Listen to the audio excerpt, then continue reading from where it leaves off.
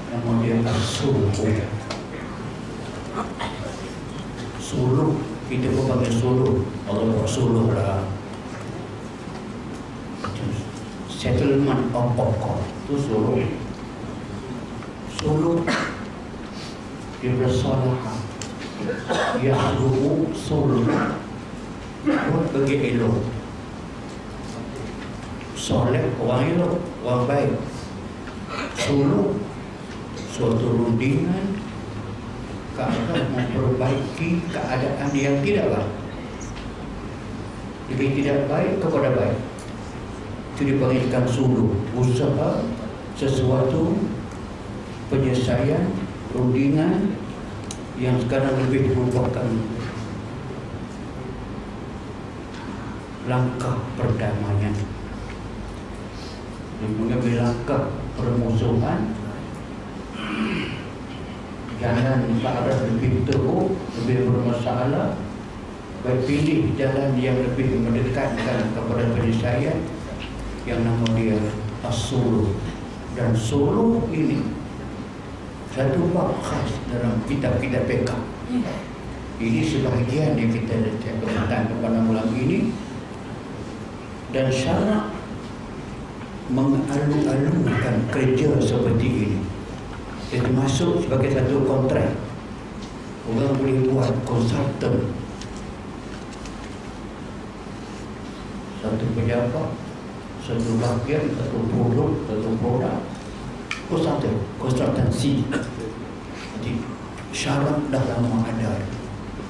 Syarat mengatakan wasulhu khair dalam damai itulah yang paling baik. Quran sebut la khaira bi kasirin min najwakum amara bi sadaqatin aw ma'rufin aw islahin bainan nas wa man yaf'al dzaka ibtigha'a mardatillah fasawfa nu'tihi ajran 'azima. Itu Quran memperuntukkan Allah Ta'ala la khaira. Tidak ada kebaikan pada kerja rundingan najwahum maknanya bisikan-bisikan mereka. Bisik ini bermaksudnya orang yang nak menyelesaikan masalah. Dipanggil slow talk slow talk itu dipanggil najwa. Berbisik pergi bercakap dari hati ke hati untuk menyelesaikan masalah. La khaira fi kasirin. Tidak ada kebaikan pada kebanyakan usaha damai yang slow talk ini kata Allah mereka orang yang membuat kerja demikian untuk convince orang itu supaya bersedekah pergi runding pergi bisik pergi najwa dengan dia pujuk dia supaya dia mengorbankan harta dia ke jalan Allah. Kalau anda boleh buat demikian orang itu bersedekah anda dapat pahala yang sama dengan dia.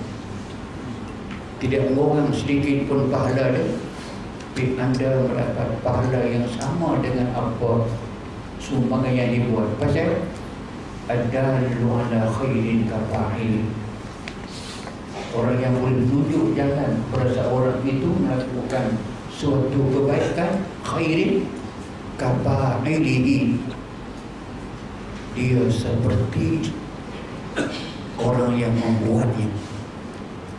Itu dikatakan la khair tidak ada kebaikan. Ini yang lebih baik.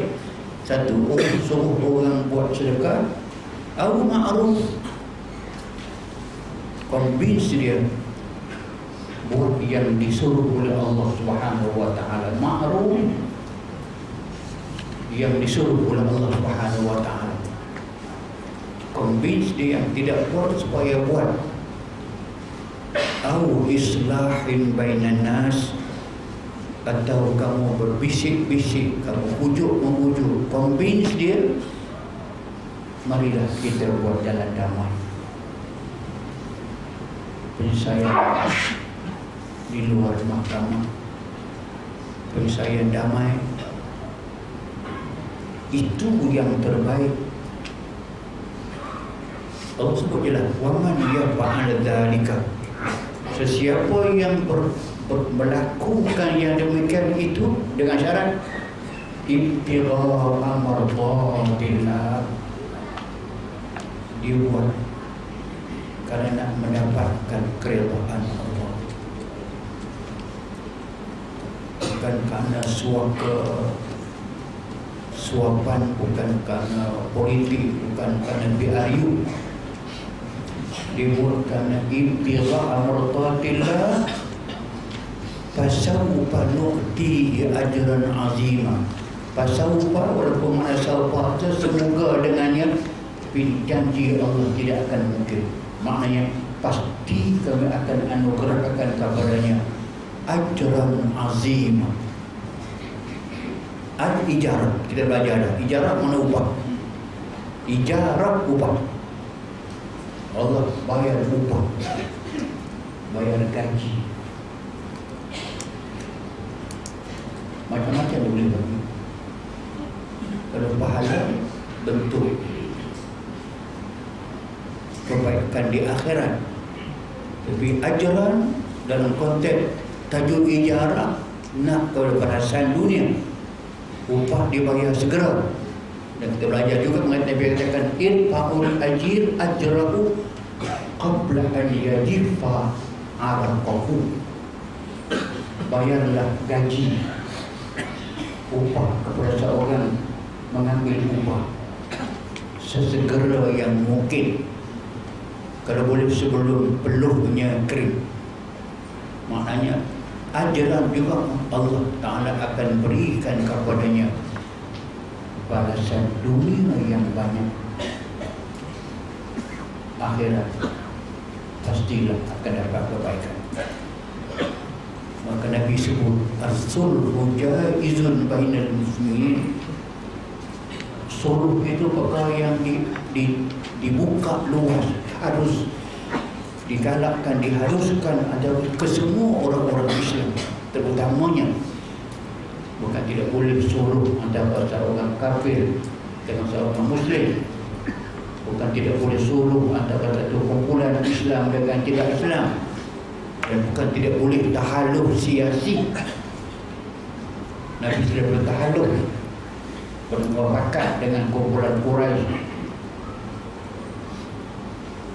Dia pakai tahaluf kesemuanya di bawah tajuk Asul Ujabis boleh.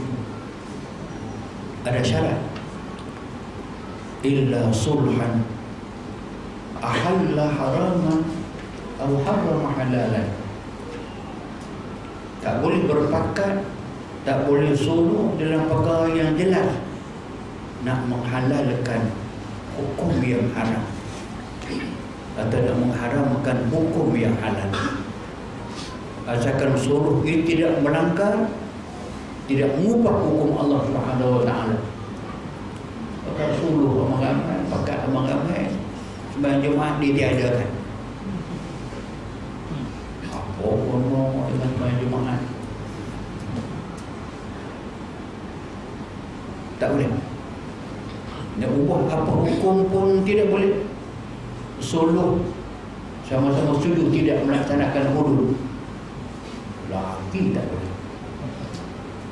So, maka dia syarat letak syarat illa sulhan. Yang tak boleh suluh nak menghalalkan yang haram. Mengharamkan barang yang halal.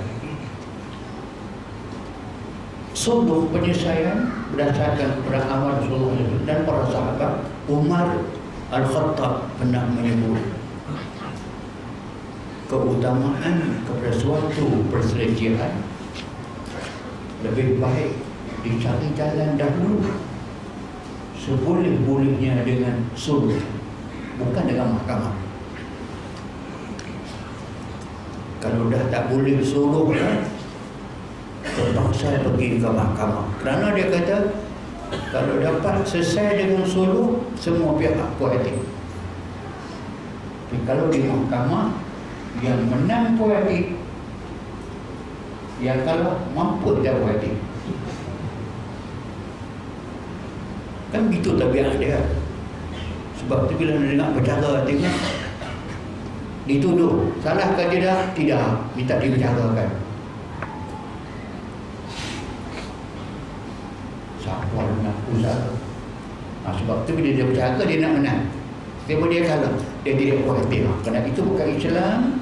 Meletakkan asul ujais suluk itu barang yang harus dan khair digalakkan kerana dia banyak kebajikan dia. Hikmah ataupun rahsia di sebalik perintah suruh itu amat banyak. Kalau kita tidak sebut pun kita boleh menganggap kebaikan dan kepentingan adanya suluh, adanya usaha damai dan adanya orang yang bertindak sebagai pendamai maka semua orang boleh. Kalau boleh berdamai ini berdamai yang bekerja yang bekerja untuk marbatillah dia menjadi public consultant. Rujuk kepada dia dalam semua keadaan dan dia bekerja sebagai marbatillah nakkan kepada keredaan Allah bolehkah menjadi profesional boleh Bolehkah dengan membuat konsultasi dengan bayaran? Boleh? Boleh? Boleh dengan harga yang tinggi? Boleh jika dia persetujui. Tapi yang terbaiknya Ibtila amradatillah Peluang pahala amat banyak Islah zatul bayin Kerja yang paling baik yang paling mulia kepada Allah Subhanahu wa taala Islah zatul bayyin. Memperbaiki golongan yang bermasalah. Anda bayangkan sebagai contoh yang Nabi sebutkan la yadkhulul jannata qati' tidak akan masuk syurga Orang yang mati dalam keadaan dia memutuskan silaturahim.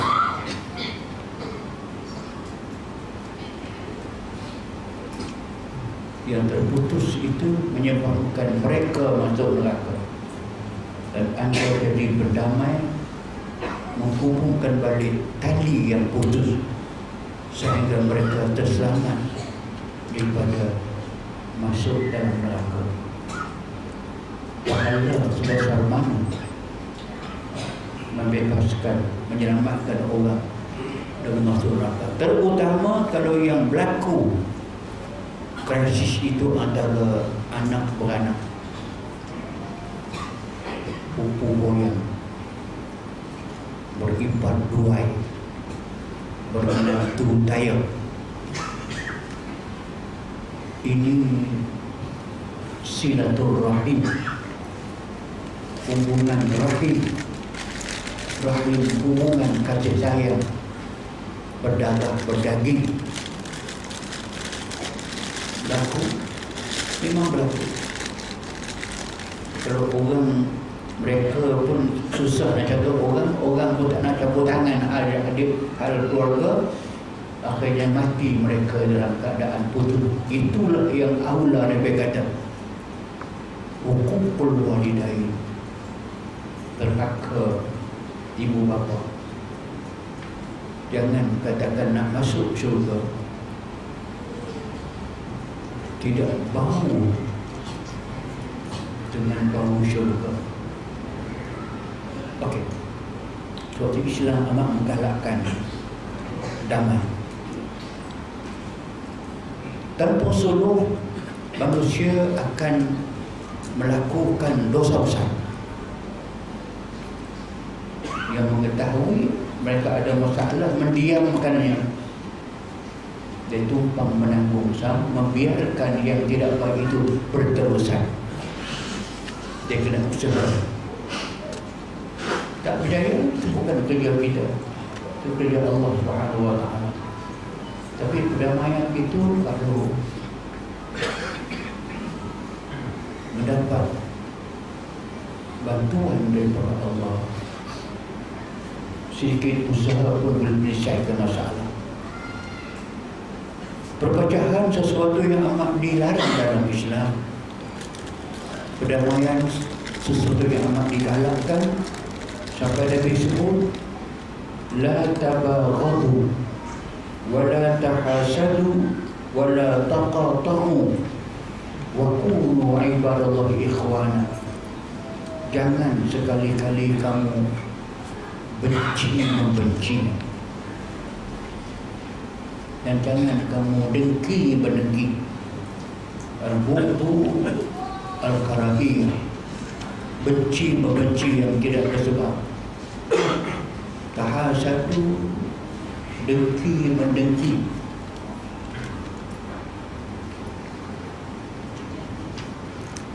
Bila dengki dah wujud maka mudah sangat berlaku permusuhan syarri hasidin idza hasad.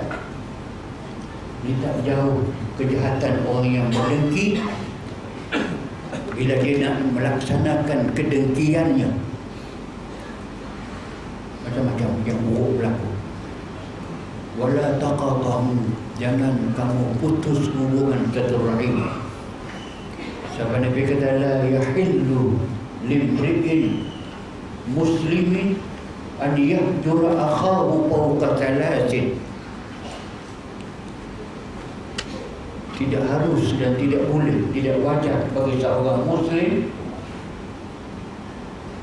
bermasa muka memutuskan hubungan dengan kawannya lebih daripada tiga hari. Islam benar. Kena marah terlampau ada suami isteri pun. Ayah dengan anak apa jiran dengan jiran pun ada kadang-kadang tu marah terlampau. Islam benarkan marah. Ayah tak okey. Tidak ada sebarang kesalahan walaupun kesalahan gaduh tu ada. Ayah kedua okey. Kalau mereka mati pada ketika itu mereka belum lagi dikatakan putus jatuh rahim kita cakap kan Hari ketiga, okey. Last day. Hari yang keempat. Wa khairuhuma man yabda bisalam. Hari yang keempat kena hubung balik yang putus. Yang terbaik di kalangan mereka orang yang mula menghulurkan sama perdamaian seorang bulu, seorang tak terima yang tak terima tanggung dia bulu selesai kewajipan dia wakumu ibadallahi ikhwana jadikanlah diri kamu sebagai hamba-hamba Allah ikhwana seperti adik beradik. Ija'al muslim Akhul muslim. Muslim yang sebenar itu adalah saudara berislam yang lain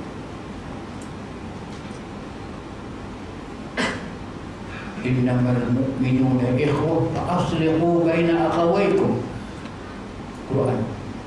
Sesungguhnya kata Allah Semua orang yang mukmin itu Ikhwah. Mereka bersaudara. Saudara atas keagamaan atas agama Allah Subhanahu wa taala. Fa aslihu bayana akhawaikum kalau kau nampak ada sedikit keretakan berlaku di kalangan saudara-saudara kamu, pasal kamu suluh dengan mereka.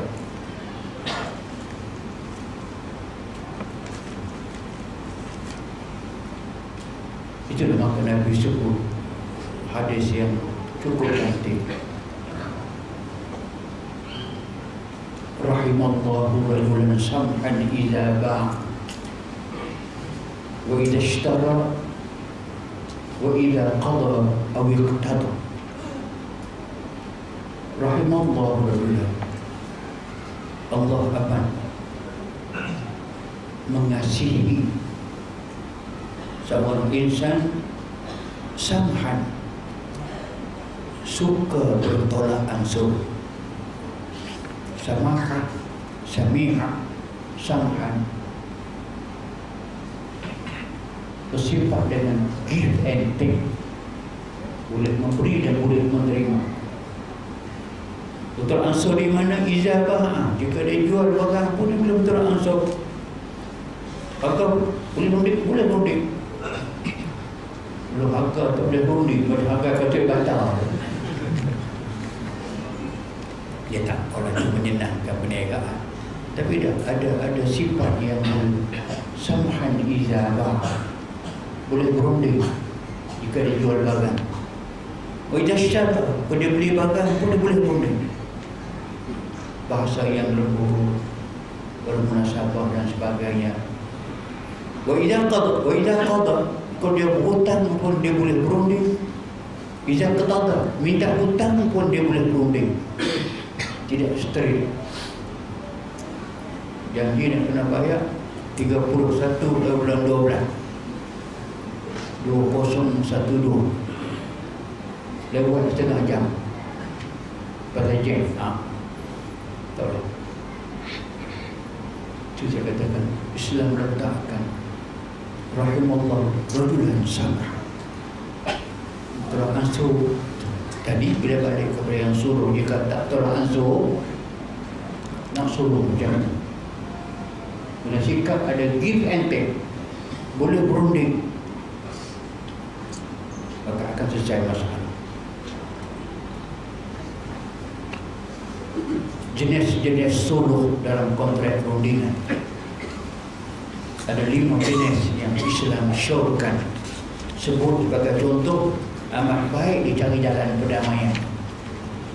Satu yang besar rundingan ataupun suluh di antara sebuah negara Islam dengan bukan negara Islam. Border katakan. Contoh tadi Malaysia Singapura. Bagi contoh Malaysia Thailand. Malaysia akan jadi sebuah negara Islam insyaAllah kalau dia bermasalah dengan negara sebelah dia kafir ada masalah memang ada masalah kena ada pihak yang ketiga buat perdamaian dan suruh digalakkan walaupun negara musuh itu musuh Islam boleh berunding Apatah lagi kalau dua negara itu satu negara Islam, sebuah Islam juga berjiran. Bergaduh. Malaysia, Brunei. Brunei negara Melayu Islam berraja. Islam. Malaysia negara Islam insya-Allah berlaku masalah. Tak jalan apa hal itu maka itu ruang yang amat luas. Mesti didamaikan. Ada negara yang ketiga kena buat usaha untuk mendamai itu yang pertama. Sampai Quran sebut in janahu lisalmi. Fajnah laha wa tawakkal ala Allah. Kalau musuh itu sendiri pun negara musuh itu memulakan suara menghulurkan tangan perdamaian. Padahal negara Islam kena terima Padahal boleh berunding. Bila berunding watawakan Allah kamu serah Allah taala. Tapi nak sebut kata dalam kitab pekah kita bab pekah kita tak pakai situ. Tanpa boleh mendamaikan antara dua negara besar. Dua negara jiran sama Islam dengan kafir Islam dengan Islam berlaku perselisihan kena damai. Contoh kecilnya kalau jiran dengan jiran pun jiran dengan jiran yang sepatutnya tidak berlaku masalah kerana mereka duduk sekali bermasalah sekali sakit tak boleh tolong berlaku emergency boleh tolong. Tapi dah. Dia jadi macam gigi dengan lidah. Dia baik macam mana pada masa yang disilam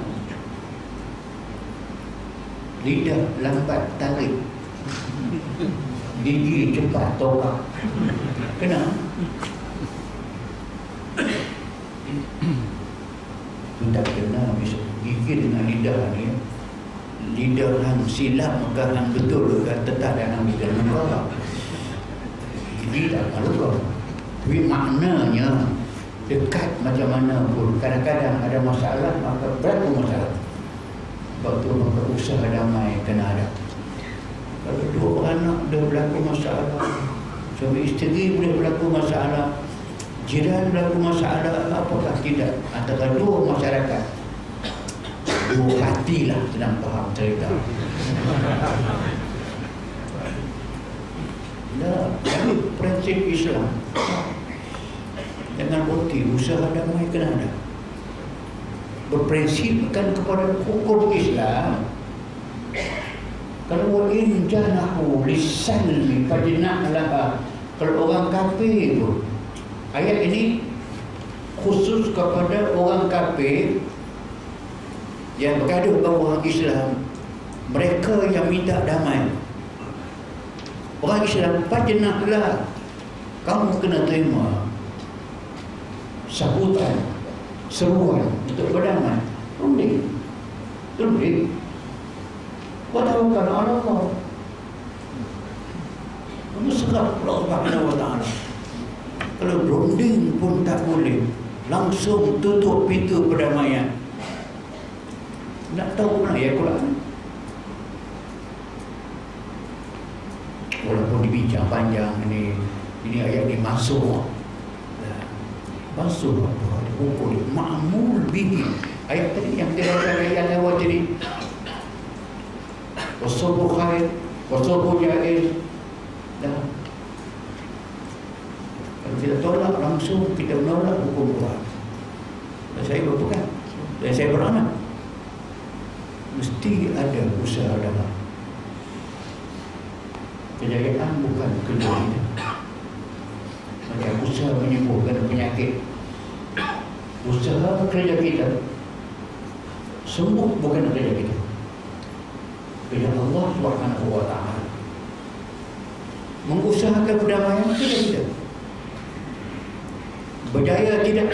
Wa man nasr illa min indillah kejayaan nas. Bukan hak kita. Min indillah. Sebab itu pada saya saya sebut menjaga kalau pegang dengan Quran dengan hadis dengan Islam yang sebenar tak patut berlaku permusuhan antara Islam dengan Islam. Islam kafir itu masalah Islam dengan Islam Kalau kita sengaja memutuskan Ada ruang untuk berdamai Boleh kita tak berdamai Kalau kita mati dalam keadaan putus satu rahim apa nak jawab Allah Subhanahu Wa Taala? Saya jawab. Jadi buat.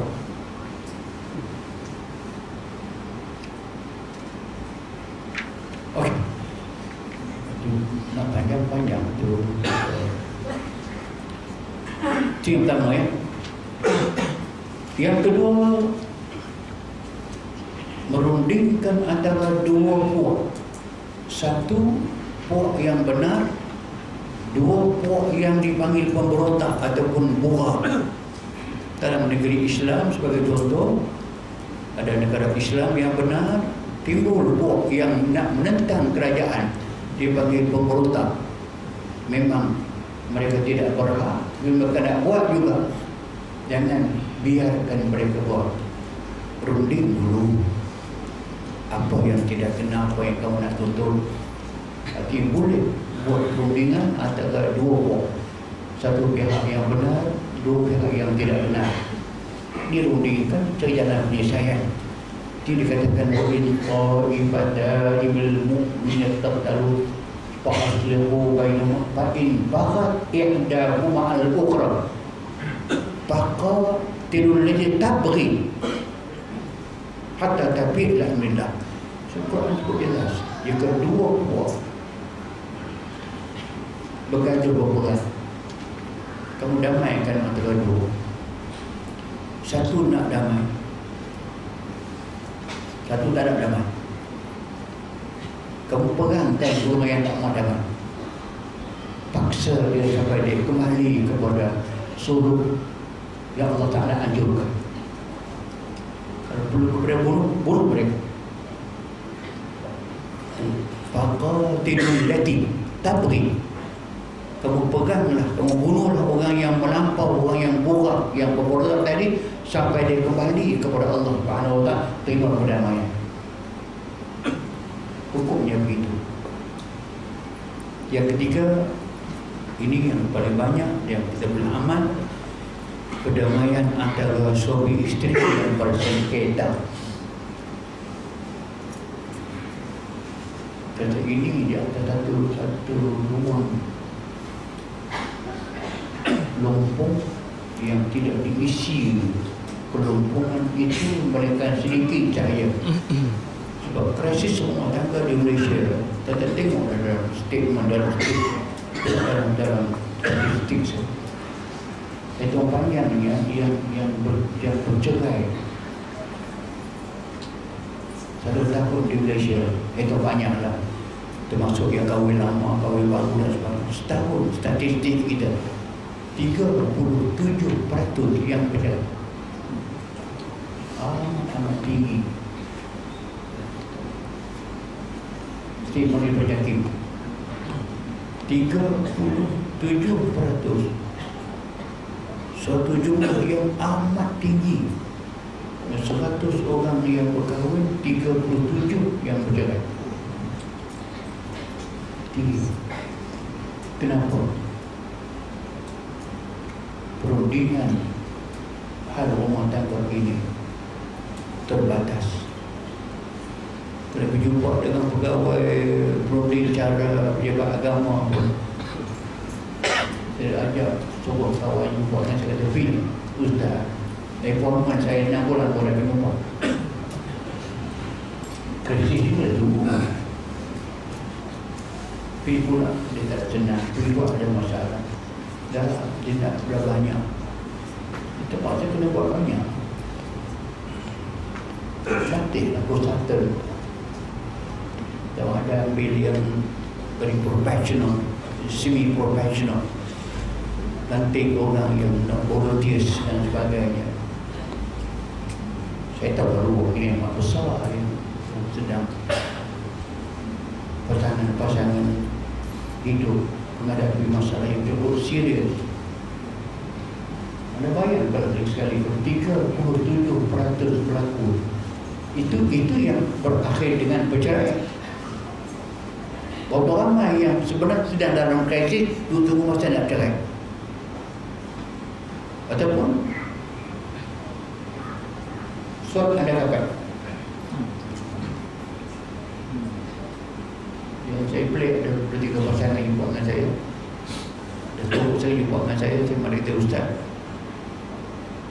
Saya dengan isteri saya kami bercakap melalui anak perempuan kami. Lama? Baru lah, baru tiga tahun.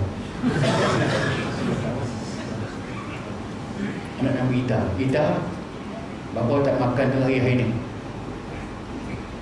Apa kan? Isteri pula, nak apa kat isteri dia? Ita, mama nak pergi ada meeting hari ni. Tak balik malam ni. Cakap melalui anak umur tiga tahun.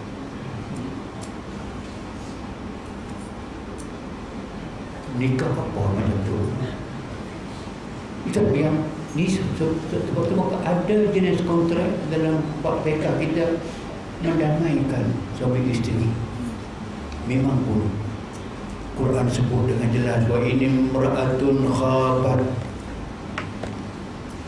min baqliha nushuzan aw i'radan fala junaha alayhima an yusliha bainahuma sulha. Andainya berlaku seorang isteri imrah amat bimbang sudah ada tanda-tanda suaminya akan derhaka kepadanya. Maksudnya suami membenci orang yang arah ataupun dia memang tidak mulai mengaling muka dia kepada lain. Maksudnya melihat kepada perempuan lain daripada isteri alamat kepada perpecahan. Nabi kata Allah Ta'ala kata Fala junah alaihi makan yufliha bainahuma sulha. Maka elok sangatlah mereka cari jalan untuk islah untuk berdamai untuk cari balik punca dia. Kenapa jadi dia macam punca di mana? Punca beri bagi saya. A. O. B. OC Quran suruh begitu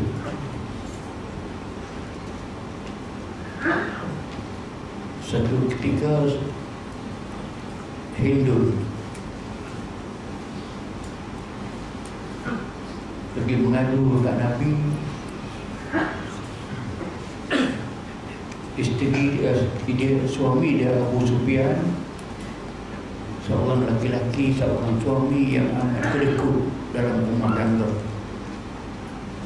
Hindu datang ke Nabi mengadu.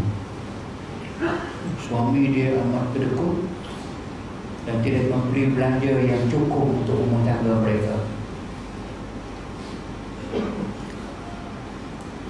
Bolehkah saya mengambil hartanya dengan tidak memberitahunya untuk menutup keperluan rumah tangga. Perlu bahasa lain ya. Boleh saya curi tak duit dia untuk menutup keperluan rumah tangga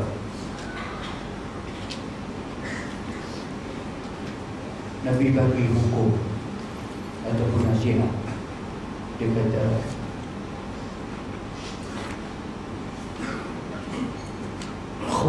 khudhi ma lahu bil ma'ruf kamu ambillah harta Abu Sufyan itu dengan jalan yang ma'ruf yang menjadi permasalahan pekahnya Nabi sebut khuzi min malihi ma yakfi wa bani bil ma'ruf itu itu patuakah ataupun keputusan suatu perbicaraan? Kalau keputusan perbicaraan hanya untuk Indon sahaja yang boleh ambil harta suami oleh tak boleh Kalau dia bukan keputusan mahkamah tapi dia merupakan fatwa petua maka semua isteri boleh berbuat demikian. Teruklah suami. Akhirnya ulama bersetuju. Walaupun Nabi tidak panggil Abu Sufyan untuk membicarakan itu, kan Nabi sudah tahu dah. Memang betul. Abu Sufyan terkenal seorang yang kedekut. Maka yang Nabi sebut tadi itu ialah qadaan la fatwa. Keputusan mahkamah. Bila keputusan mahkamah, dia seorang boleh pakai. Orang lain tak boleh pakai, mereka dia kena minta. Kalau dia tak dapat juga, dituntut melalui mahkamah. Apapun, tapi yang pentingnya bahawa persisihan rumah tangga hendaklah diselesaikan dengan cara sulh. Jangan sampai bawa ke mahkamah. Kalau duit menjadi punca, tadi selesai dengan cara orang yang orang tengah dengan baik. Jangan jadi-jadi masalah. Itu yang ketiga. Yang keempat, suluh ataupun perdamaian antara dua pihak bertelaga tapi tidak tahu kedua-dua siapa yang salah. Tadi tahu dah satu yang salah iaitu golongan borak, golongan pemberontak. Memang tak boleh. Ini dua golongan yang memang bertelaga bergaduh tapi tidak tahu siapa yang salah. Boleh didamaikan tidak? Boleh. Berpandukan kepada satu hadis. Anna ahla quba iqtatadu hatta darabu bil hajar penduduk Quba. Quba kampung yang Nabi sampai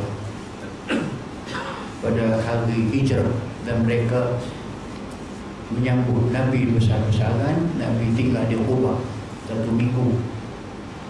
Kalau umat itu memang ahli ataupun penduduk yang memang dapat kepujian tentang mereka baik sangat menyambut Nabi. Lepas itu ada masalah penduduk Kuba sering berpegang sama-sama mereka menggunakan batu, baling batu, baling senjata. Maka orang pergi laporkan Nabi SAW maka Kuba ini bergaduh Nabi kata Ishabu bina. Ishabu bina surah itu Mari kita sama-sama pergi. Itu tengok Nabi sendiri Ajak para sahabat Pergi ke kampung Kubah Kubah Sebab Kubah sekarang ya Maka Nabi telah melakukan suluh di antara mereka Maka mereka pun bersuluh Dan secara pertikaian.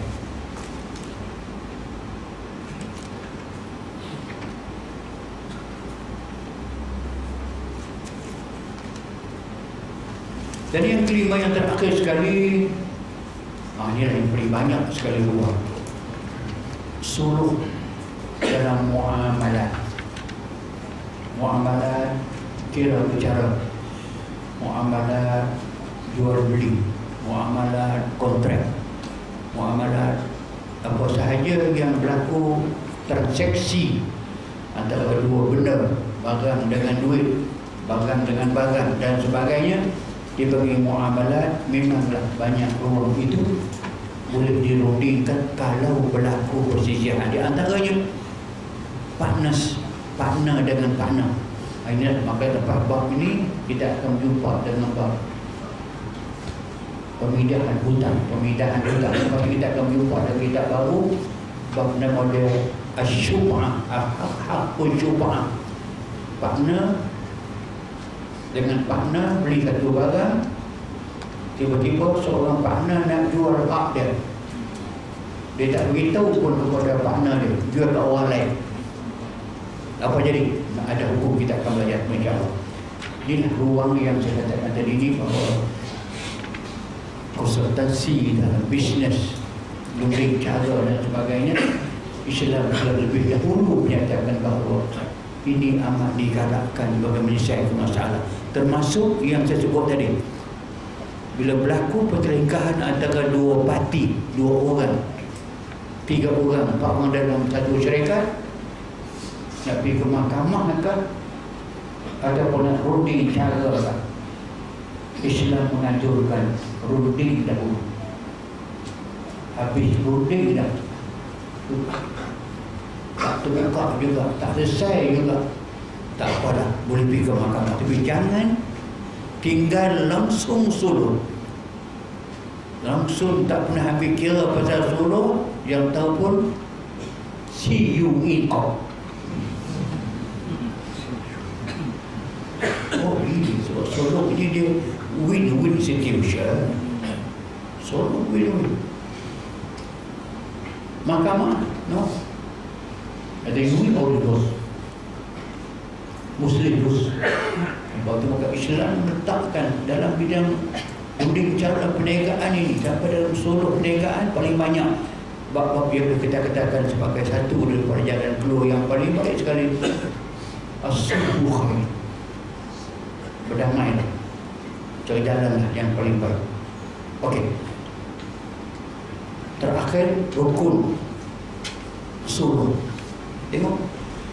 Atau dalam suluh, dalam perdamaian, dalam cara runding cara pun diikat dengan hukum supaya barang itu dia letak kata acuan syarat bila acuan syarat dia ada rukun dia. Bila ada ada ada ada patuhi dengan semua kehendak syarat anda dapat pertolongan Allah Subhanahu wa taala. Sebab melaksanakan tuntutan syarat. Anda mau belakangi syarat usaha sendiri Allah tidak bantu. Pastilah dia tidak bantu. Sebab fa'inna taysir alaika yasir. Memudahkan barang yang payah. Amat mudah bagi Allah krisis berlaku complication. Berlaku yang susah tak ada damai. Tapi nak memudahkan barang yang susah itu Kita tak boleh. Yang boleh Allah. Bila Allah yang boleh Dah boleh buat. Bila tolong dia pula Kita buat pula suluh Suluh khair pula. Dan ada rukun Kita penuhi rukun pula. Kalau berdoa pula Rabbi yasir wa la tu'asir Fa'inna taisir ala yasir. Ya Allah mudahkanlah usaha kami ini. Allah akan mudahkan. Kerana memudahkan perkara yang payah itu adalah mudah bagi Allah Subhanahu wa taala. Itu untungnya. Sikap ini ada pada semua kita. Orang Islam yang berniaga yang berurus dengan usaha perniagaan. Ada sikap khair, suluh khair, ada masalah rujuk balik kepada hukum syarak cari orang yang boleh boleh menyelesaikan. Dan insyaAllah boleh boleh boleh mendamaikan rukunnya ada empat. Satu pihak yang berunding yang akan menuntut yang kena tuntut. Mesti pihak itu ada. Dan pihak ini biasanya dia berkuasa menguruskan harta dia dan jika dia tak boleh buat wakilnya boleh bertindak. Yang melibatkan harta anak yatim. Harta budak anak yang belum lagi balik bapa dia meninggal. Berhubung dengan pak saudara dan sebagainya pak saudara yang tak berhak daripada kata pusaka tapi dia tuntut juga dan sebagainya kan menimbulkan masalah. Dan ini berlaku maka boleh wakil kepada yang menuntut itu yang berunding itu boleh diwakil kepada orang lain. Itu yang pertama. Kedua ada sirah biasa. Yang kata sirahnya kena jelas. Apa benda yang nak dirunding dan apa dia di atas penyelesaian-penyelesaiannya. Kalau dia wakil saya wakil bagi pihak ini untuk berunding bagi hal ini untuk penyelesaian seperti ini. Biasalah sirah itu maknanya apa dia intention yang nak dibuat dalam perdamaian itu. Yang ketiganya perkara yang dirundingkan mestilah untuk menyelesaikan hak manusia. Bukan hak Allah. Hak Allah tak ada runding Hukum Allah tak ada runding Itu hak dia. Dan hak manusia itu dia hak apa? Hak kisah. Kisah. Dia kena pukul. Dengan ceramah politik kena pukul. Dapat tangkap orang yang Kisah Dekat pilihan raya Kalau kisah jadi masalah Okey ganti dengan dia Pihak lagi tiga belas. Contoh. Jadi ini yang dipanggilkan bahawa mesti ada sirah yang jelas apa yang bukan nak buat dan pakai diulikan itu mesti hak manusia pada umumnya bukan hak Allah Taala. Dan mestilah juga sabit hak itu, hak yang mendakwa itu sabit. Kalau bunuh dah sabit dah bunuh. Maka hukum dia kena bunuh balas. Hak manusia darah bayar dengan darah. Lepas sabit dah kisah kena tuntut. Yang dituntut sah dan orang yang bunuh kena bunuh balas. Ha, lepas tu baru ada perundingan. Sebelum tak boleh. Apa dia perundingan? Minta supaya kisah itu ditukar dengan nama dia dia. Dia pun boleh berunding. Zaman Nabi dianya kalau bunuh dengan sengaja 100 ekor unta. Boleh berunding kan tidak? 90, 60, 70 boleh. Malah boleh berunding sampai ke peringkat boleh maaf bukan tidak tanpa bunuh balas tanpa bayar dia. Boleh? orang yang boleh tuntut hak itu hak nyawa, hak dagang dan orang yang bunuh itu sabit lah dia tak ada nabi lah dia kena bunuh balas. Kalau waris yang untuk itu boleh sampai ke peringkat wa antaku wa tasfahu kalau boleh kamu ampun maafkan dia tak apa. Sebab bayar dia. Itu yang Quran katakan waman ahyaha faka'annama ahyana sajami'a Sesiapa yang berpuasa dengan kemaafan dia Satu nyawa terselamat. Satu nyawa yang patut mati tidak mati Hidup. Faka'annama ahyana sajami'a Dia ketika itu seolah-olah dia telah menghidupkan kesemua manusia yang nak mati dia menghidupkan seolah-olah. Supaya mana pahala mungkin manusia zaman Nabi itu mungkin semua ketika itu mungkin satu miliar kok kau boleh disebut. Tak kira Zaman mana kamu berada Kalau kamu hidupkan seorang satu nyawa Seolah-olah kamu menghidupkan kesemua manusia. Kalau sekarang ada tujuh bilion Tujuh bilion Kamu maafkan seorang manusia. Kamu selamatkan dari gantung atas kemaafan kamu. Macam kamu menyelamatkan tujuh bilion manusia. Sama dengan sebaliknya. Waman qatalaha Faka'annama qatalan nasa jami'a Kalau sengaja kamu bunuh satu manusia. Sama seperti kamu membunuh Semua manusia. Jadi yang dirunding tadi itu adalah hak manusia Maka boleh dirundingkan. Nama empat, yang keempat Perkara yang dirundingkan itu Pampasan itu Harta yang dibenar oleh syarat kalau runding pada rebutan harta Macam kata tu harta yang lulus syarak. Kalau sama-sama ada orang pergi merubah, pergi mencuri Duit itu bergaduh semasa nak dibagi. Lepas tu nak cari orang damai Tolong bahagikan duit rumpakan kami ni Duit rumpah Nak dibahagikan bergaduh kita teringat tentu analogi yang cukup cantik cerita orang umpah tiga orang tak elok cerita umpah tapi itu ada cerita juga. Tiga orang berumpah bank dapat duit. Selamat terumpahkan bawa lagi duit itu pergi dalam batu hutan masuk satu gua berehat. Nak bagi harta sampai nak pergi kata tiga orang yang umpat dua orang kata Kalau bagi sama kata tak adil sebab kita tukang yang masuk dalam bank. Tukar tembak pun kita tangkap kita. Dia tu driver saya dia duduk di luar.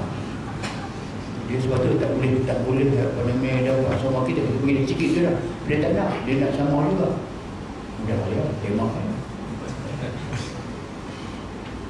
driver yang bagi bagi dulu Kupu lapar, lapar tinggal dua orang. Seorang kena keluar pergi cari makanan. Lapar. Siapa nak pergi? Orang tusuk. Yang menang tunggu, yang lapar pergi.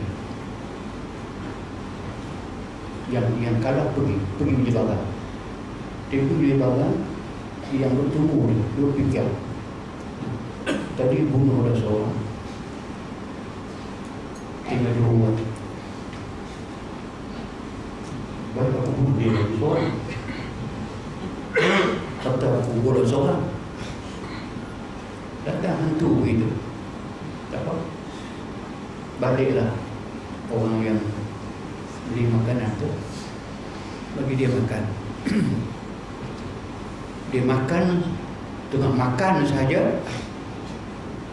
Dia terasa yang tak elok. Mungkin kawan ni dah lena dekat dia dia tembak kawan tu. Nak seorang nak makan. Tembak. Percaya orang tembak sebab aku nak ambil seorang harta ni. Tadi bunuh seorang tinggal dua. Bagi dua yang aku tembak ha, aku dapat seorang. Kata kawan tu aku pun pick up yang sama juga aku beli barang tadi ini makanan aku dah buka cun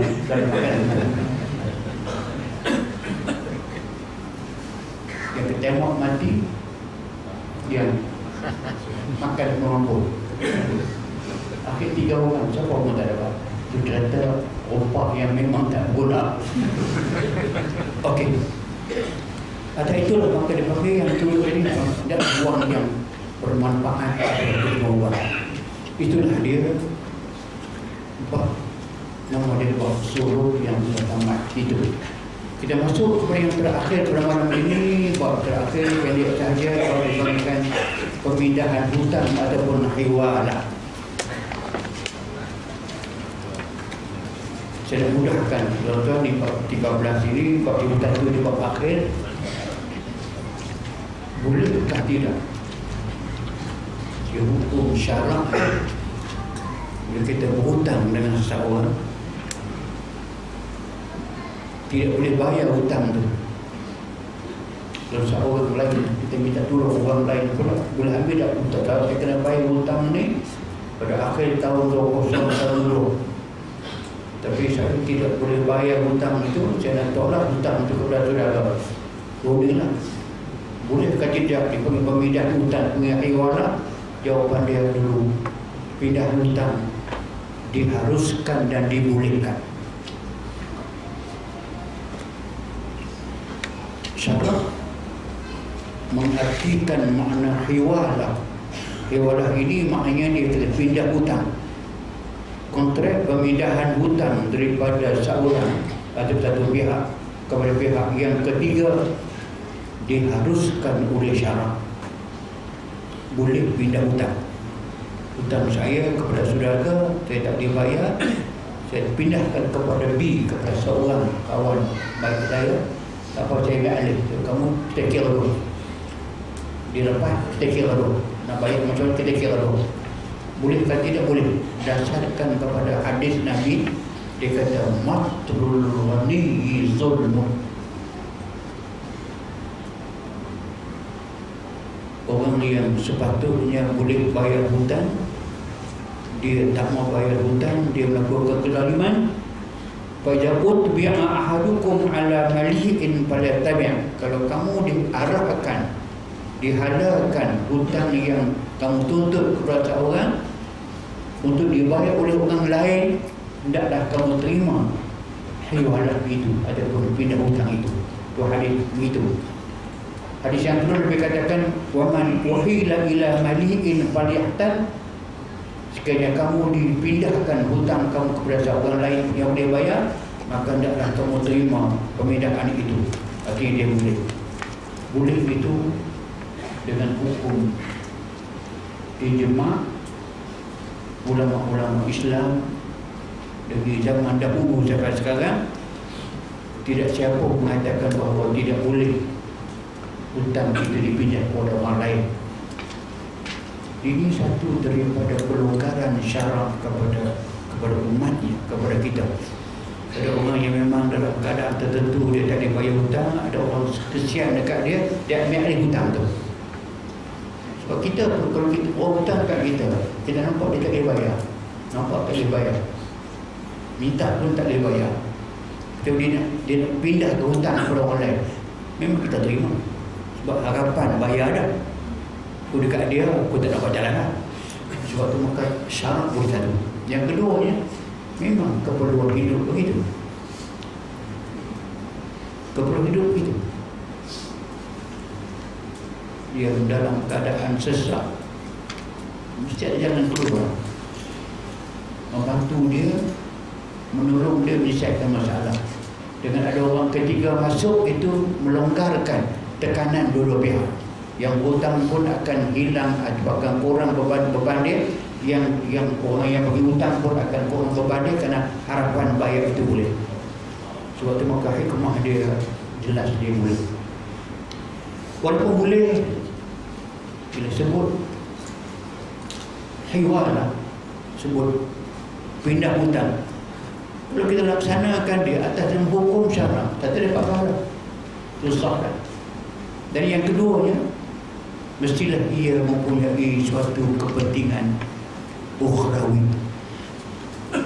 Tidak semua urusan kita kita fikirkan hal dunia sahaja. Orang yang dalam keadaan sesak yang Nabi pernah sebutkan man farrajaman mu'mini kurbatan min kurbi dunia. Farrajahu kurbatan min kurbi yaumil qiyamah sesiapa yang boleh melepaskan kurbah suatu bencana yang dihadapi oleh seorang dalam bencana-bencana dunia. Kesesakan-kesesakan tekanan-tekanan kehidupan duniawi dia sesak ada orang boleh tolong melepaskan dia.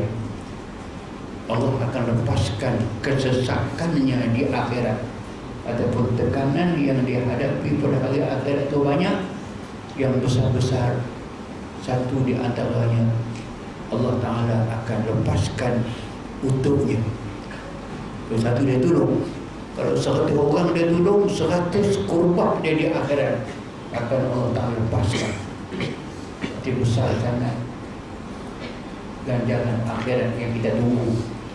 So, maka dia adalah ada rukun. Rukun dia ada lima. Muhil, muhal, muhalun alaih, muhalun bi, sirah. Ada lima. Rukun dia biasanya yang melibatkan orang-orang yang yang terlibat dengan dalam transaksi itu kalau ini saya senang faham bila hukum keperluan asas yang perlu ada pada transaksi pindah hutang siapa yang terlibat? Mestilah. Kita mahu orang yang berhutang. Berhutang kedua pemihutang orang yang bagi hutang. Ketika muhalun ada orang yang nak terima tanggungjawab bayar hutang. Yang keempat, hutang apa tu? Benda apa yang dia hutang tu? Yang kelima, apa ada sirap? Sirap adalah loading yang digunakan untuk transaksi pindah hutang. Inilah yang dipanggilkan rukun-rukun. Kalau cukup lima rukun ini, maka sahlah perkara itu boleh berlaku. Apa natijah?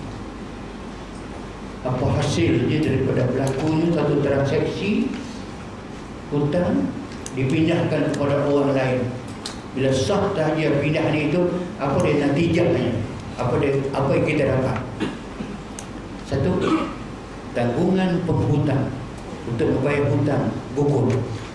Hutang tersebut berpindah kepada orang yang menyanggupi untuk bayar hutang. Yang tengah jawab dia? Sebab ni ada kena mengena ada masalah.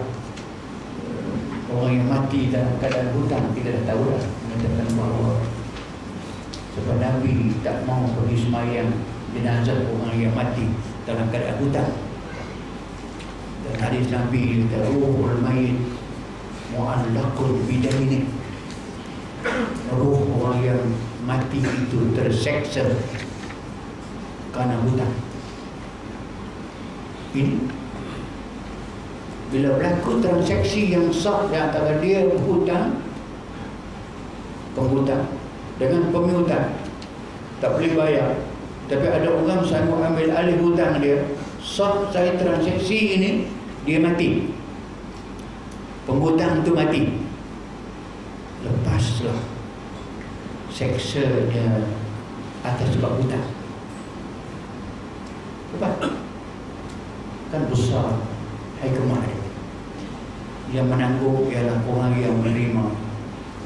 Wuhalul ada hutang yang kepada itu yang pertama yang kedua hutang baru terbentuk. Terjadi. Hutang baru hutang di antara penghutang tadi dengan orang yang menyanggupi untuk bayar hutang. Bila dia bayar kepada orang yang penghutang tadi ni lekat hutang antara dua ini itu gantul kepada yang kedua syarat. Sebab Nabi pernah sebut hutang adalah tanggungjawab yang mesti dilunaskan. Pedagang sendiri pun kena lunas. Kalau bolehlah orang yang ada hutang ini memaafkan kepada orang yang berhutang. Lebih baik lebih baik itu dari dia ambil hutang itu dia bersedekah kepada orang yang memerlukan kepada bantuan saya ulang lagi sekali. Orang yang hutang ini orang yang memerlukan dia tak boleh bayar hutang. Kita paksa dia pun tak boleh bayar hutang. Mana baik kita maafkan dekat dia ataupun duit yang sama jumlah dia.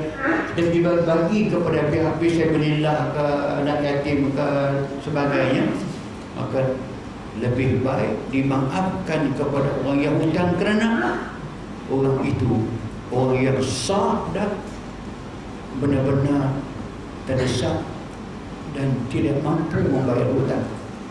Beban dia banyak tinggi keperluan dia lebih tinggi daripada keperluan orang yang kau pergi cari tadi orang ternampak miskin mungkin tidak miskin. Anak yatim. Anak yatim banyak yang milen kan nama anak yatim bapak dia seorang. Bilik eh meninggal harta anak. Yatim lah. tapi tetap dia orang kaya.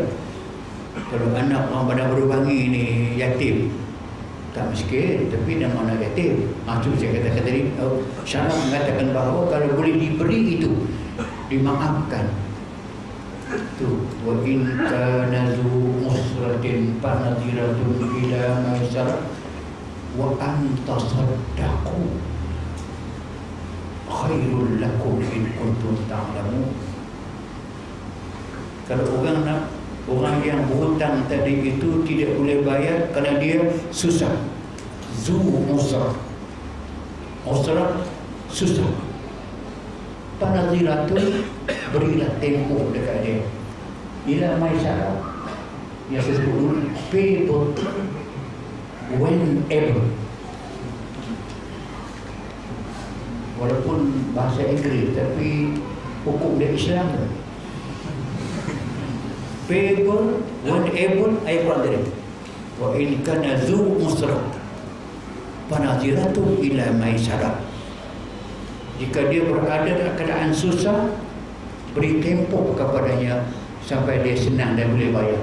Memang terjemahan dia people whatever dan Quran kata wa antasaddaku tapi tempoh pun dia tidak boleh bayar juga. Wa anta sadaku kamu sedekahkan kepada dia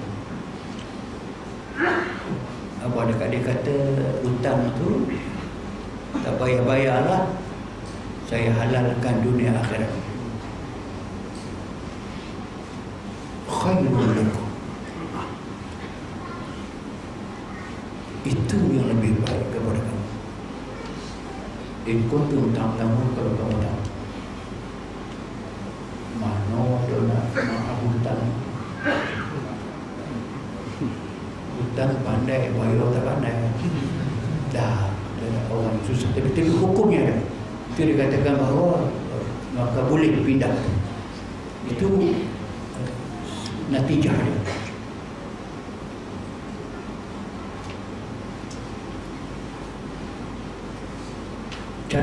Cara pembayaran hutang.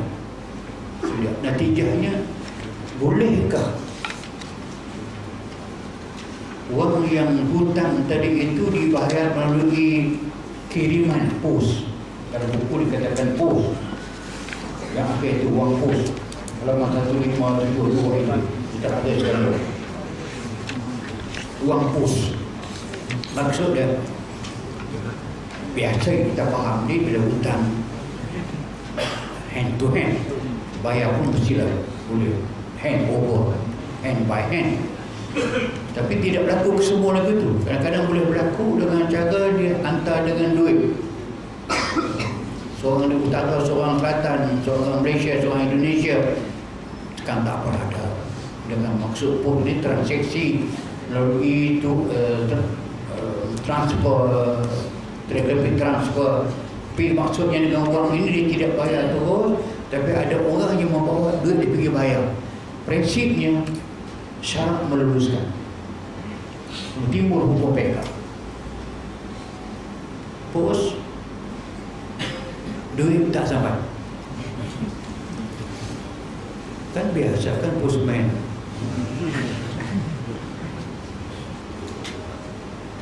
Okey syarak telah meletakkan asas-asas yang boleh diterima pakai itu. Syarak mengatakan bahawasanya kalau janji awal dahulu mengatakan bayar kena hand by hand. Dia pos hilang dia tanggung jawab. Kan boleh kata jangan pos.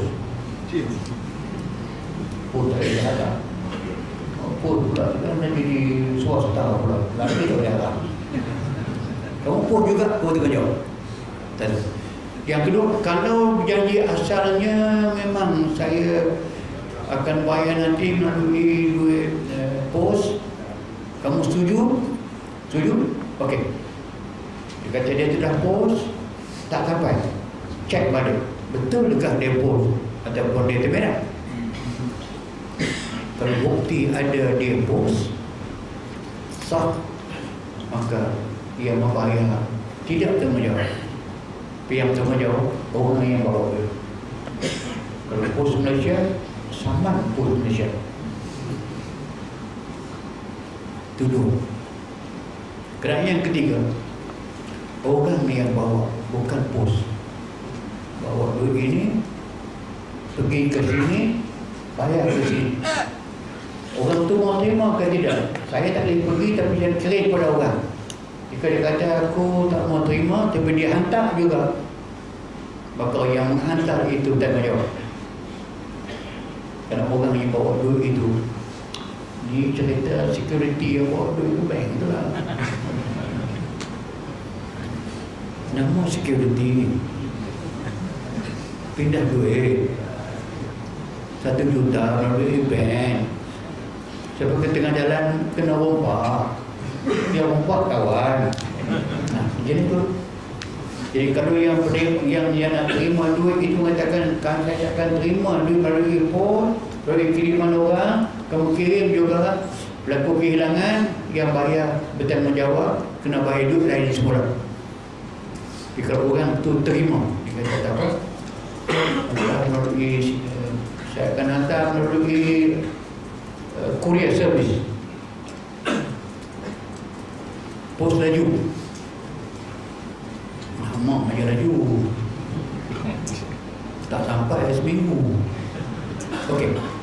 Bergantunglah kepada apa pertujuan daripada asasnya membayar hutang tadi berapa hutang nama dia dipindah hutang kepada lain nak bayar balik macam mana itu tadi kata pada asasnya keinginan pun.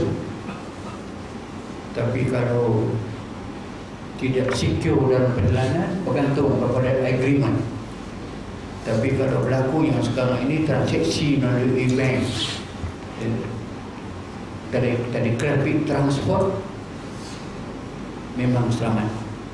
Ataupun bank boleh terus transport selamat.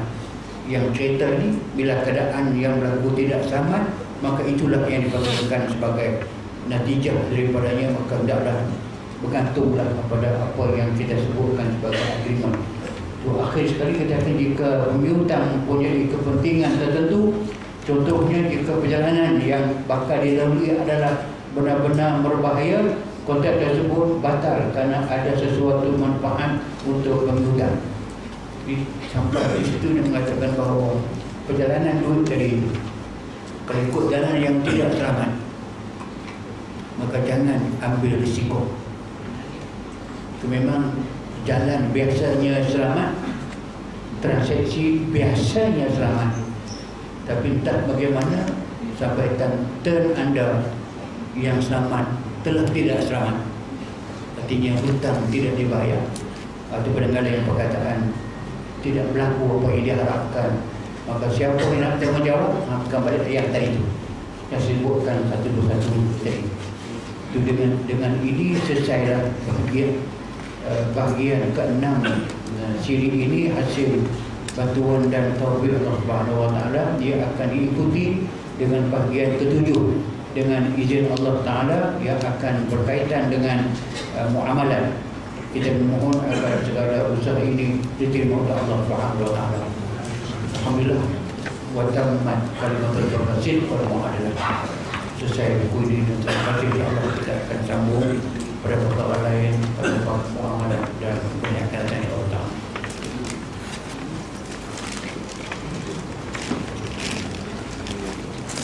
Bagaimana dengan orang-orang yang berurus hubungan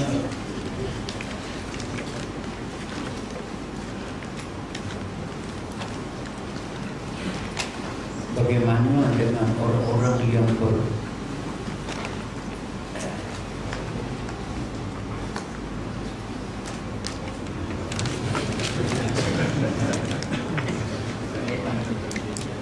saya jamin saya jamin adik pinjam duit bank rakyat beliau tak bayar bank tuntut dari saya untuk bayar hutang bila saya jelaskan saya tuntut dari adik mohon huraikan status saya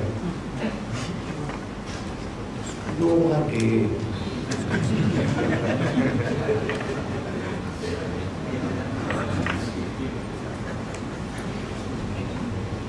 penjamin ada bab dipanggil dhamin penjamin adalah lebih kurang macam orang yang sanggup membayar hutang jika penghutang itu tidak boleh bayar hutang hukum syaraknya memang bila tidak boleh bayar hutang dhamin dengan sendirinya menjadi orang yang kena bayar dan dia kena bayar, dia bayar jika tak bayar, dia bayar jika dia bayar apa hubungan dia dengan orang yang pinjam pertama tak kira dua adik ke tiga adik ke kawan ke bukan kawan ke. maka orang yang berhutang tadi itu yang tak dibayar itu yang penyamin hutangnya terlekat. Dia lepas dengan bank rakyat kerana abang dia telah bayar dia lekat hutang dengan abang dia. Dia wajib bayar sejauh jumlah mana yang abang dia bayar. Hukum tetap dia kena bayar. Kalau dia tak boleh bayar itu balik yang tadi. People when able Tak boleh juga Balik yang terakhir tadi itu Wa antasaddahu khairul lakum Sedekah saja kepada adik itu lebih baik kepada dia Daripada dia. Ulang lagi sekali Ini memang berlaku banyak Tapi jangan ambil mudah. Kalau dua adik pun hutang tetap nama hutang dua adik pun nama hutang tetap nama hutang dia tidak macam anak dengan ayah. Kalau anak mak uh, mak ayah dengan anak tidak dikira hutang. Walaupun bagi atas nama hutang dia tidak hutang pasal kewajipan kepada ayah membagi belanja kepada anak dia. Sebab itu tanggungan dia. Dah dia dah kahwin dah anak banyak dah. Kahwin kahwin sepuluh pun dia susah. Tetap anak ayah. Maka dia kena bagi bantuan kepada anak dia. Dia bagi bantuan yang tak ada hutang ada yang tak hutang dia bagi sahaja tak. Ada yang nama ada hutang tak apa. Boleh nama hutang. Tapi kalau dia tak boleh bayar juga akhirnya memang kita itu kewajiban ayah untuk membayarkan hutang anak. Maka tidak dikira hutang. Tapi tetaplah dia menjadi macam yang saya sebut dulu. Nabi kata afdalus sadaqah luqmatun wada'taha pi pi zaujatik afdalus sadaqah. Sebaik-baik sedekah itu kamu beri makanan. Sesuatu makanan pun tidak mengapa. Kepada mulut orang yang wajib kamu nafkahkan mereka. Contoh dia isteri. Contoh dia anak atau bapa yang telah mencari nafkah membelanjakan kepada rumah tangga dia kepada keluarga dia. Dengan menyuap walaupun sesuatu makanan itu adalah afdalus sadaqah. Sebaik-baik sedekah wa atidal qurba haqqahu. Wal miskin wa ibn sabil berikan tiap-tiap orang itu hak dia yang paling berhak sekali. Wa atidal qurba. Berilah kepada orang yang mempunyai hubungan qurba. Qarib hampir. Kurba orang yang paling hampir dengan kita. Paling hampir anak. Ayah dengan anak. Suami dengan isteri. Tadi adik dengan abang. Itu yang terutama kamu bagi belanja. Sebelum orang lain. Kita ambil balik apa yang pepatah Melayu sebut. Jangan. Jangan. Kera di hutan. Disusukan. Anak dikendung mati kebuluran kita ada kita mampu kita bagi bantuan hutang kepada orang luar daripada circle keluarga. Biar anak nak hutang tidak bagi. Adik nak berhutang daripada abang tak boleh tapi abang berhutang dekat orang. Dia melanggar wa atidal qurba haqqahu. Qurba tu betul bawa orang miskin. Kemudian lepas tu bawa orang yang tersak dalam perjalanan Orang apa pun balik kepada hadis tadi maka yang terbaik sekali tadi lah buat yang terbaik dan setiap kali kita tidak dapat balik pulangan dunia jangan lupa Setiap kali yang kita harapkan pulangan dunia tak dapat, jangan lupa yang itu ada pulangan di akhirat. Kalau kita wa antasaddaqu khairul lakum. Write off. Itu yang terbaik. Adakah bill out boleh disamakan dengan perpindahan hutang? Adakah ia dibolehkan dalam Islam? Mana ada jalan bail out ni? Setahu saya bail out ni kerajaan mengeluarkan sejumlah duit kerajaan rakyat membayar hutang satu company yang terhutang begitu banyak. Dia tak bayar bil out ni 20 ringgit. 20 juta pun dah 200 juta. 500 juta dia bail out bail out itu tapi ya bukan kira hutang. Kalau kira hutang hutang tapi bail out ni yang katakan bukan atas nama hutang tapi nak menyelamatkan keadaan menjaga nama lah dan sebagainya kena bail out maka dia bail out. Apa pun apa pun syarat tetap mengakui. Kalau itu hutang terpaksa dibayar oleh pihak yang ada kemampuan ke, ada ada ada kesenangan untuk bayar hutang atau nama hutang hiwalah boleh. Dengan syarat yang berhutang tadi kena bayar balik kepada orang yang tolong bayar hutang. Kalau itu berlaku syarat mengakui boleh. Dengan syarat-syarat yang biasa dibuat profesional tapi kalau semata-mata membunuh, menolong seorang mengambil duit negara, duit rakyat yang begitu banyak ke satu pihak yang lain pula mesti orang itu yang jadi tamin. Dia kena bayar balik kepada orang yang luluskan tu kalau orang yang luluskan itu tidak bayar balik maka dia terhutang kepada kerajaan terhutang kepada rakyat.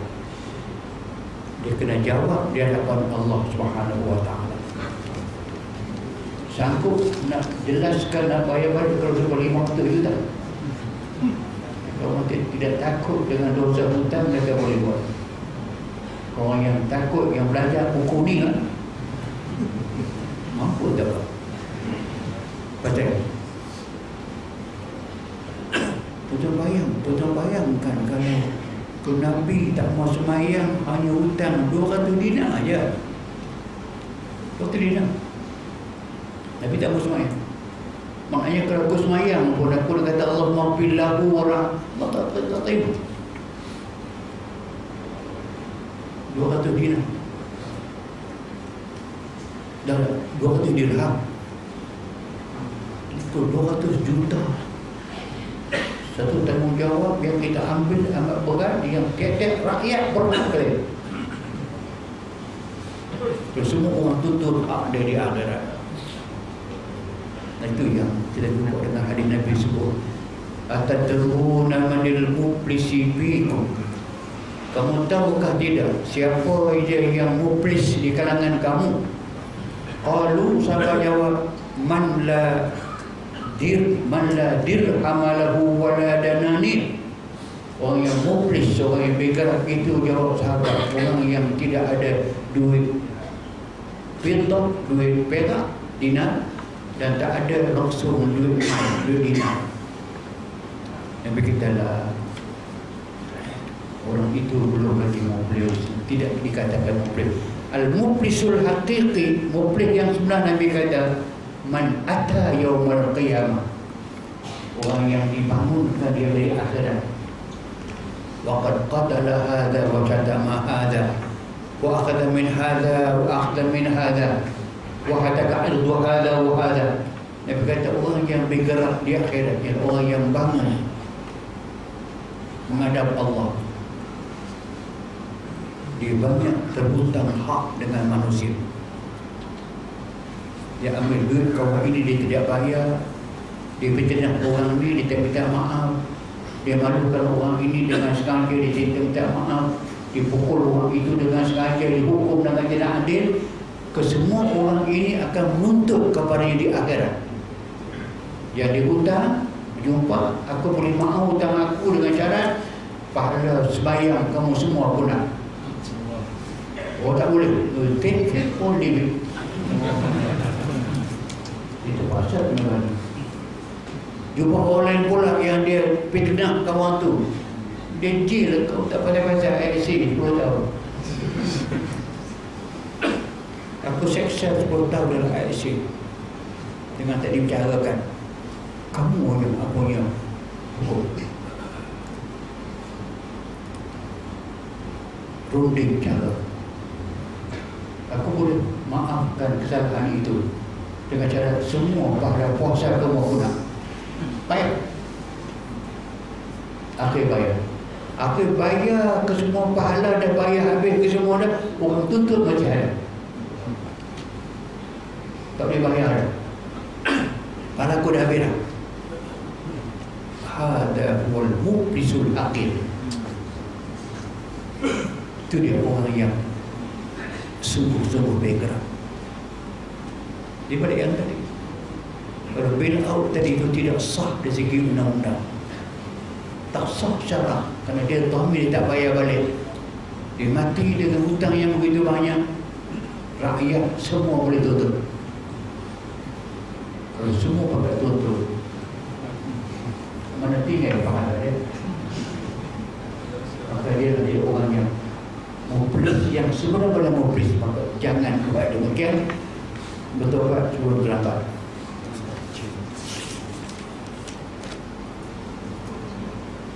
apa hukumnya? Tukar cincin emas.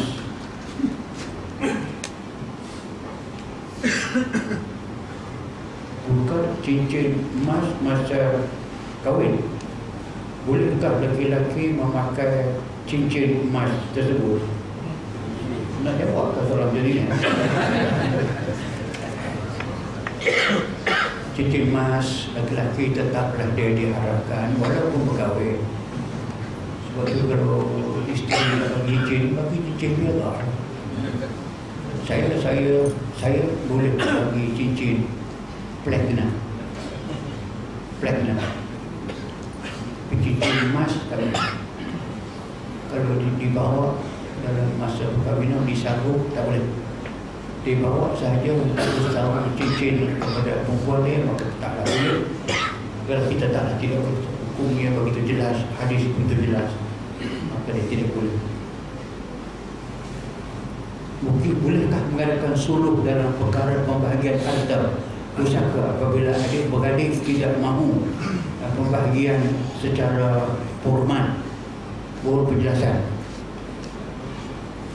Jabatan Bukti Kejaksaan Negeri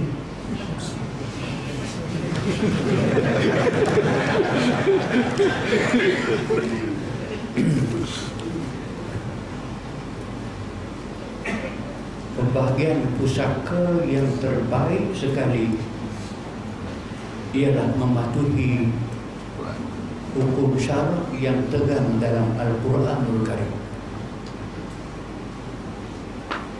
Pembahagian isteri dapat satu berapan jika ada anak laki-laki itu pembahagian syarak. Dia tidak ada anak laki-laki dan perempuan sahaja ada maka dia dapat satu per dua satu per empat satu per empat yang lain dibagi kepada semua anak-anak nasabah dia pergi kepada abang dan adik dia.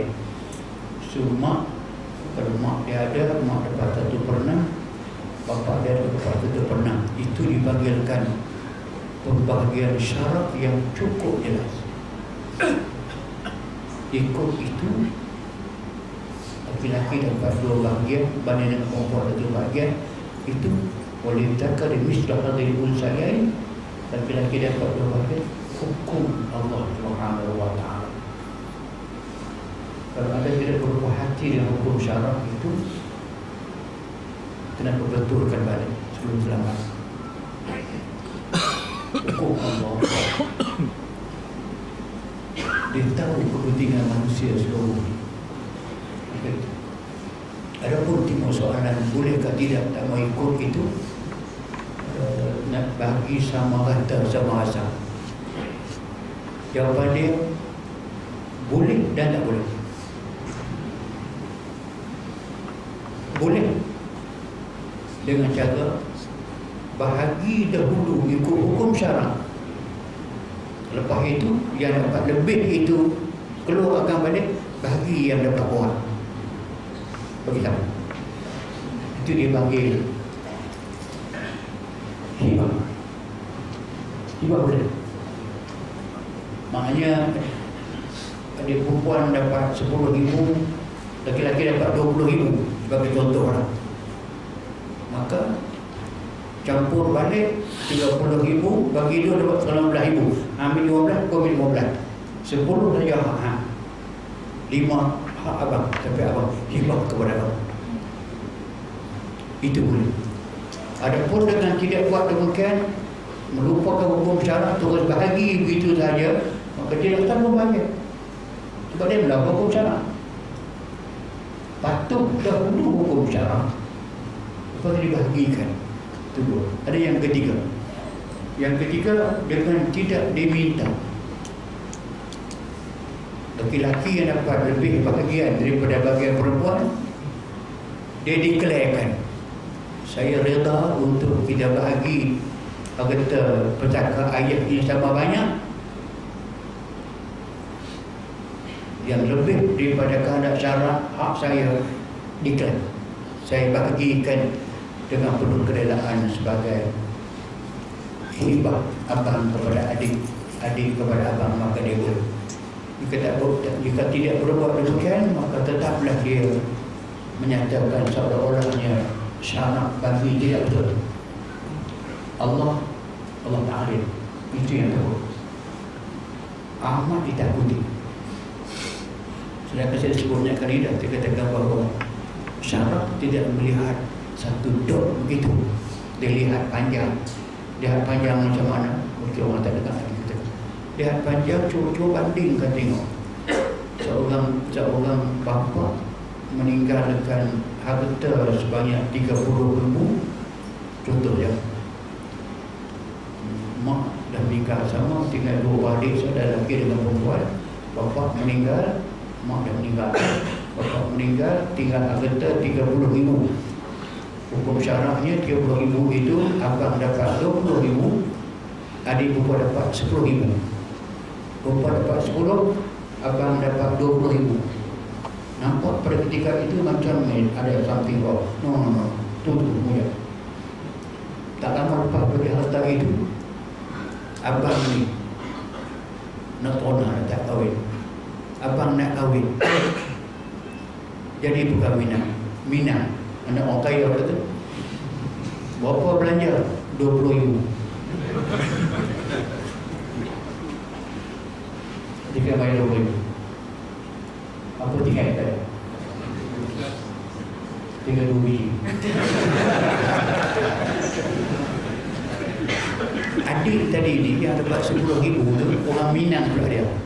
Dia pun nak balas bayar nak balas kat pom tu tadi berapa belanja 20 ribu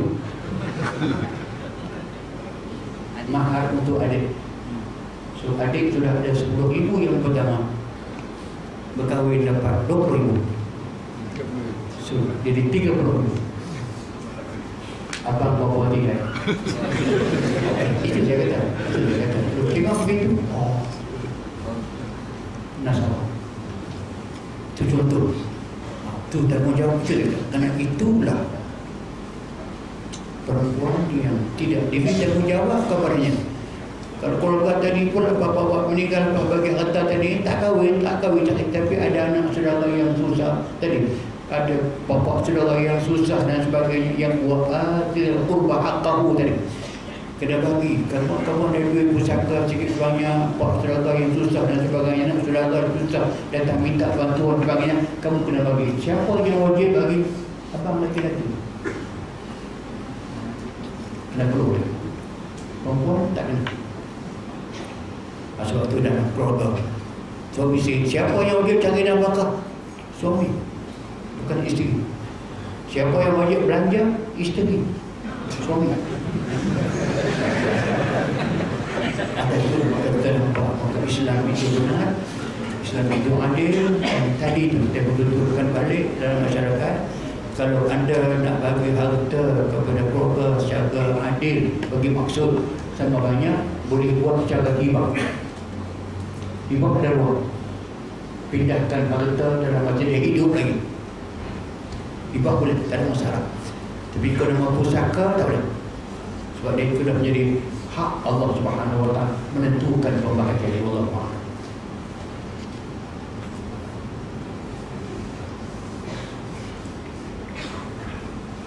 Mengapa korek haram?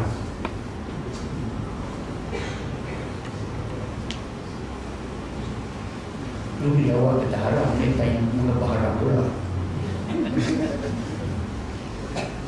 Dulu kita belajar pasal money exchange tukaran duit kita, kita sebut bahawa tukaran duit itu adalah harus dan beberapa syarat lupa semua dah yang antara syaratnya duit itu hendaklah diberi terus menerus yadan biyadin tak boleh terima hari ini duit um, Australian dollar uh, besok nanti saya bagi duit Malaysia. Tak boleh.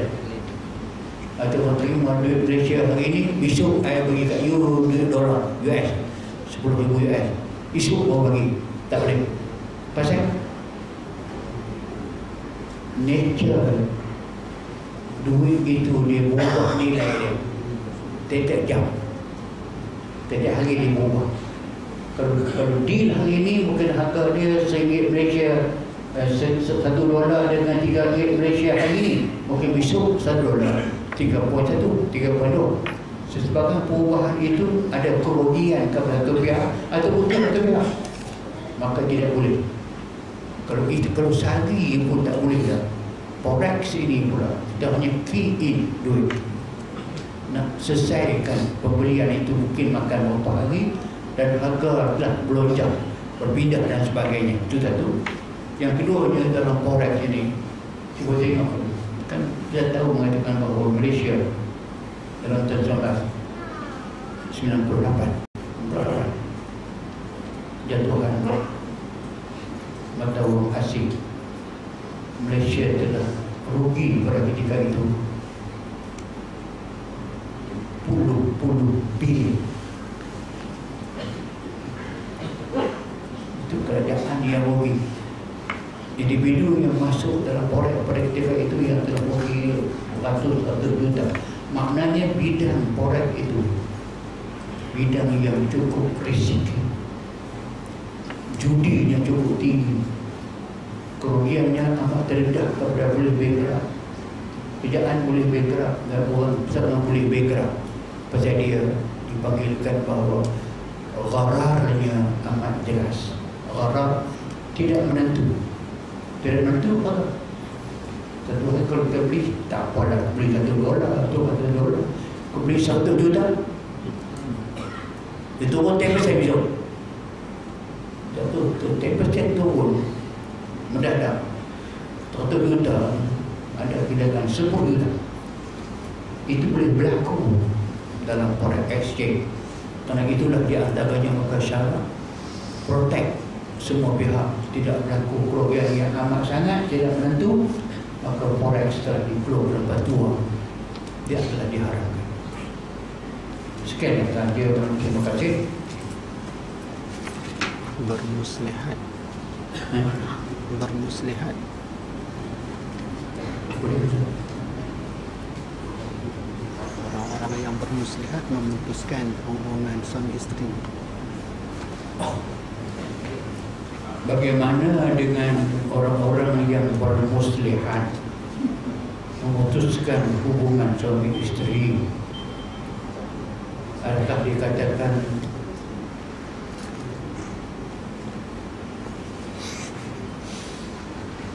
Adakah ini dikatakan? Dikira memutuskan silaturahim Adakah dikatakan putus silaturahim? Okey, yang saya faham Orang yang ada muslihat Ada kepentingan diri dia Dia cari jalan Memfitnahkan atau sesuatu Sampai suami isteri itu tercerai Terpisah dan sebagainya Adakah itu dipakai orang yang memutus silaturahim? Jawapan Pertama Sebagai usaha yang dibuat memecah belahkan suami isteri sampai bercerai disifatkan oleh syarat sebagai orang yang telah mengukuhkan sebuah masjid yang terbina. Muslihat tadi fitnah ke dan sebagainya pergi, pergi menggambar kebukan sesuatu yang tidak berlaku tapi berlaku fitnah atau berlaku perceraian kerja itu sedikit. Tapi kalau hasilnya memecah belahkan perhubungan suami isteri sampai bercerai perai, dia adalah telah mengukuhkan sebuah masjid. Dosa mengukuhkan sebuah masjid. Banding dengan yang lain baik membina sebuah masjid. Sama seperti orang membina sebuah istana dalam syurga. Mengukuhkan sebuah masjid. Kamu bina sebuah rumah kamu dengan neraka. Yang kedua. Dosa fitnah الذين فتنوا المؤمنين والمؤمنات ثم لم يتوبوا فلهم عذاب جهنم ولهم عذاب الحريق Orang yang membuat fitnah Merosakkan orang mukmin Laki-laki kah mereka atau perempuan Lalu mereka tidak segera bertaubat dengan Allah Subhanahu Wa Taala Dia mati Palahum adabu jahannam bagi mereka Allah sediakan azab neraka jahanam walaupun azabul harim tak cukup dengan neraka jahanam saja mereka akan dibakar oleh api neraka. Itu fitnah biasa. Fitnah biasa. Tapi kalau fitnah sampai hasilnya memecah belahkan suami isteri. Dosa lebih besar. Dua. Dan yang ketiga penyakit masyarakat yang paling besar dalam hidup mengadu domba antara dua orang Islam yang seagama. Lebih besar dosa dua orang yang sedang berkasih yang ada hubungan terakhir. Lebih besar dosa antara anak dengan bapa, antara suami dengan isteri kerana mereka itu ada hubungan khusus diberikan silaturahim. Memutus itu. Orang yang memutus dengan sengaja pun dia, dia tak akan masuk surga yang usaha memutuskannya pun dia dia meneruka ke agama. Dia tidak akan masuk surga pada itulah maka soalan tadi saya jawab mengatakan bahawa jangan berbuat demikian.